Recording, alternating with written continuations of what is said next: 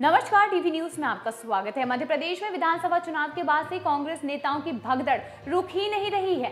बुधवार को विदिशा से पूर्व विधायक शशांक भार्गव कांग्रेस छोड़कर भाजपा में शामिल हो चुके हैं। उनके साथ विदिशा कांग्रेस के कई नेताओं ने भाजपा की सदस्यता ली है। वहीं मुख्यमंत्री डॉक्टर मोहन यादव, भाजपा प्रदेश अध्यक्ष वी शर्मा, पूर्व मुख्यमंत्री शिवराज सिंह चौहान और संगठन महामंत्री हितानंद शर्मा ने उनको सदस्यता दिलाई है। साथ ही होशंगाबाद लोकसभा क्षेत्र के भी कई कांग्रेस कार्यकर्ताओं और पदाधिकारियों ने भाजपा की सदस्यता ली है। इस अवसर पर भाजपा प्रदेश अध्यक्ष वी शर्मा ने कहा कि भाजपा के 370 प्लस का अभियान का संकल्प मध्य प्रदेश में ही मोदी जी ने ले लिया था और हमें टास्क दिया था। उन्होंने कहा था कि ज्वाइनिंग का अभियान इस संकल्प के लिए बड़ा अभियान है। इस ज्वाइनिंग अभियान के तहत न केवल नेता कार्यकर्ता, बल्कि अलग अलग वर्गों के लोग भाजपा में शामिल हो रहे हैं। विदिशा में यदि कांग्रेस थी तो शशांक भार्गव की वजह से।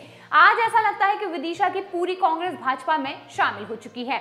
वहीं मुख्यमंत्री डॉक्टर मोहन यादव ने भाजपा की सदस्यता ग्रहण करने वाले नेताओं का स्वागत करते हुए कहा कि प्रधानमंत्री नरेंद्र मोदी के नेतृत्व में भारतीय जनता पार्टी का परिवार निरंतर बढ़ता जा रहा है। भारतीय जनता पार्टी में छोटे से कार्यकर्ता को भी बड़ी ज़िम्मेदारी मिलती है।